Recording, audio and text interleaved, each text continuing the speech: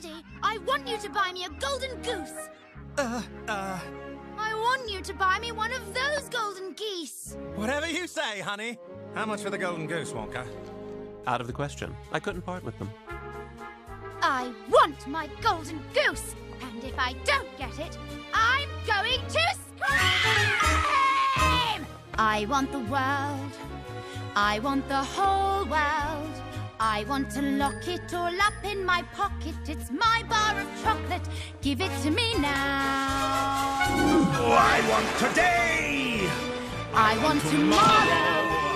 I want to wear them, I breathe if I dare, and I don't want to share them! Whew, we lost them, and we still have a gobstopper. Right, Tom? I don't get the things that I'm after. At last, I'm going to scream!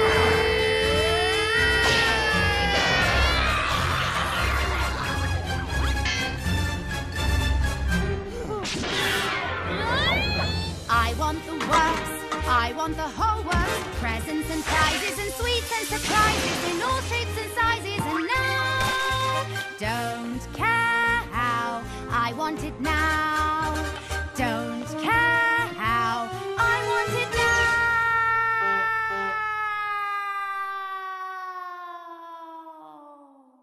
She was a bad egg.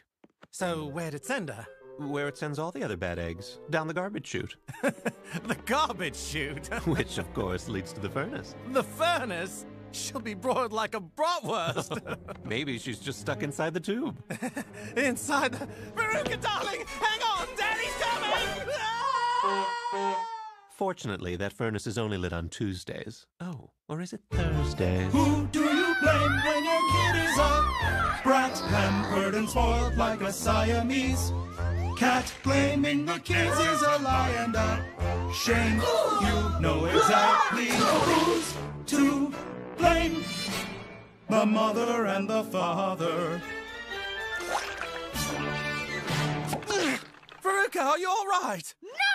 I don't have a golden goose, and now I'm covered with garbage! We're in the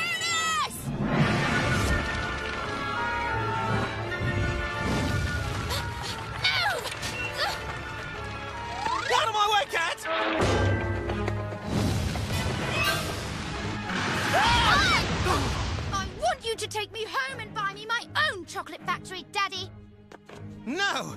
You're lucky neither of us were burned to a crisp! You're going to learn some discipline when we get home, Miss Salt!